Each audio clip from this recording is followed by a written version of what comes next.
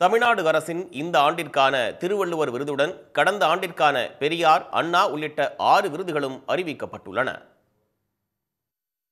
ஜனவரி பதினாறாம் தேதி சென்னை வள்ளுவர் கோட்டத்தில் நடைபெறும் விழாவில் விருதுகளை முதலமைச்சர் மு. க. ஸ்டாலின் வழங்க உள்ளார். அதன்படி இரண்டாயிரத்தி இருபத்தி மூன்றாம் ஆண்டிற்கான திருவள்ளுவர் விருது இரணியன் நா. கு. பொன்னுசாமி அவர்களுக்கு வழங்கப்படுகிறது. இரண்டாயிரத்தி இருபத்தி இரண்டாம் ஆண்டிற்கான தந்தை பெரியார் விருது திராவிடர் கழக துணைத் தலைவர் கவிஞர் கலி பூங்குன்றனுக்கு அறிவிக்கப்பட்டுள்ளது.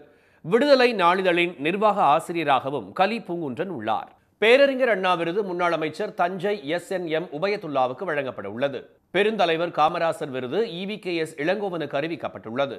அண்ணல் அம்பேத்கர் விருது பட்டியலின மக்களுக்காக போராடும் எஸ் வி ராஜதுரைக்கும் மகாகவி பாரதியார் விருது முனைவர் ஆ இரா வெங்கடாச்சலபதி அவர்களுக்கும் பாவேந்தர் பாரதிதாசன் விருது வாலாஜா வல்லவன் அவர்களுக்கும் வழங்கப்பட உள்ளது. திருவிக விருது நாமக்கல் போ வேல்சாமி அவர்களுக்கும் கி ஆ பே விஸ்வநாதம் விருது கவிஞர் மு. மேத்தா அவர்களுக்கும் தேவநேய பாவனர் விருது முனைவர் இரா. மதிவாணன் அவர்களுக்கும் வழங்கப்பட உள்ளதாக தமிழ்நாடு அரசு வெளியிட்டுள்ள செய்திக்குறிப்பில் தெரிவிக்கப்பட்டுள்ளது.